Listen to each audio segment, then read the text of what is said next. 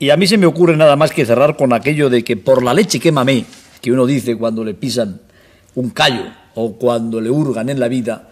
pues sería como dramático que los niños que ahora están mamando en el pecho de su madre o vayan a mamar dentro de unos años leche tan altamente contaminada que no se permitiría la venta en ningún tipo de establecimiento ni pasaría, digamos que, las normas de salud pública, no tengan que decir también de que por la leche que mamé soy un ser tarao y estoy muriéndome, porque la humanidad fue tan insensata que puso hasta en el producto más digno, más entrañable, más primario, el que ha permitido que pertenezcamos a un grupo de animales, que son los animales próceres y que se llaman mamíferos, dominar el planeta, sea algo que ya no se pueda llevar a cabo en el futuro, la lactancia natural.